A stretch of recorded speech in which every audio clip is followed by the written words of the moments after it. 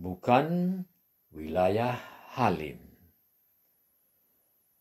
Kehadiran Presiden Soekarno di Pangkalan Angkatan Udara Halim Perdana Kusuma pada tanggal 1 Oktober 1965 meskipun atas kehendak sendiri dan sesuai dengan standar operating procedure resimen Cakrabirawa memperkuat dugaan adanya keterlibatan Auri karena dikait-kaitkan dengan apa yang disebut lubang buaya. Padahal desa lubang buaya yang dijadikan tempat latihan sukarelawan dan menjadi lokasi pembunuhan para perwira angkatan darat letaknya di luar wilayah pangkalan angkatan udara Halim Perdana Kesuma.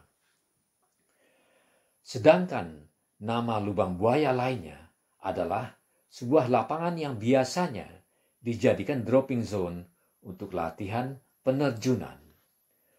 Lapangan ini ada dalam wilayah pangkalan Angkatan Udara Halim Perdana Kusuma. Di sekitar dropping zone inilah terjadi tembak-menembak antara RPKAD dengan batalion 454 Para. Kedua pasukan itu rupanya hadir di alamat yang salah karena mereka seharusnya menuju desa Lubang Buaya.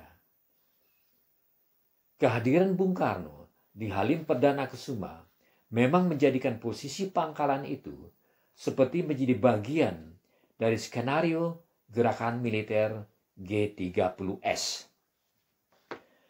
Pendapat publik pun terbentuk karena ada kegiatan lain di desa Lubang Buaya yang dikacaukan dengan lapangan Lubang Buaya, tempat latihan terjun di Halim. Omar Dhani sendiri pun menjelang pagi 1 Oktober itu memang sudah berada di markas komando operasi Pangkalan Angkatan Udara Halim. Karena sebelumnya sudah mendengar dari Letkol Udara Heru Atmojo, Asisten Direktur Intelijen, akan adanya gerakan internal dalam tubuh Angkatan Darat. Sebagai pimpinan Angkatan Udara, ia memutuskan untuk tidak turut campur dalam persoalan itu, tetapi sebaliknya meminta Auri untuk mengambil tindakan berjaga-jaga, terutama mengamankan semua instalasi Angkatan Udara. Pagi hari itu juga Omar Dhani kemudian bersama Panglima Komando Operasi Komodor Udara Leo Watimena menyambut kedatangan Presiden Soekarno di Halim yang diputuskan atas pertimbangan keamanan di sekitar Istana Merdeka.